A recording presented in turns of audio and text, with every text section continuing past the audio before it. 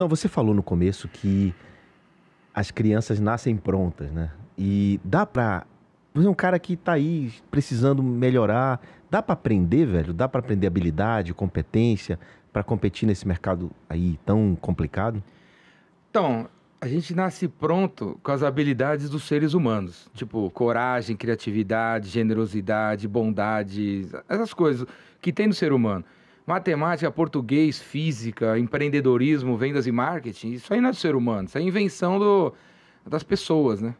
Então, essas coisas você consegue aprender. Você, não, você consegue aprender com um professor adequado.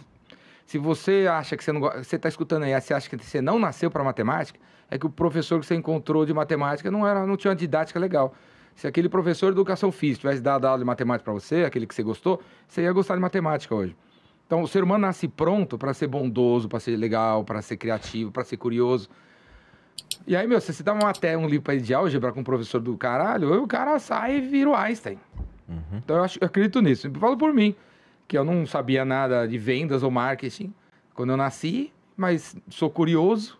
E o professor que eu peguei de vendas e marketing, sei lá, era legal pra cacete. O primeiro livro que eu li era legal pra cacete. Eu adorei o assunto e, e, e fui, né? Então, eu, meu, se, não, não tenham crenças limitantes, porque você é negro, baixinho, veio da Vila Ema, ninguém saiu da Vila Ema, ninguém da Vila Ema ficou rico ainda, então não tem essa, crenças limitantes.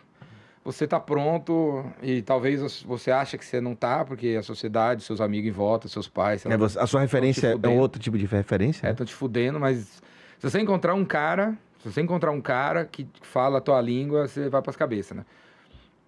Eu, como eu falei, tem 100 mil negros no meu WhatsApp. Todo dia chega dezenas de mensagens de nego que eu nunca vou ver na vida, que viu um vídeo meu, que viu um texto meu, que viu uma frase, uma, uma resposta no Instagram, uma de 15 segundos, e o cara, por causa dessa resposta, pff, finalmente, o cara fala, finalmente entendi, né? O que é vendas, o que é liderança, o que é isso. Porque eh, em 15 segundos entendi o que um livro de 15 mil páginas não tinha conseguido me explicar, né?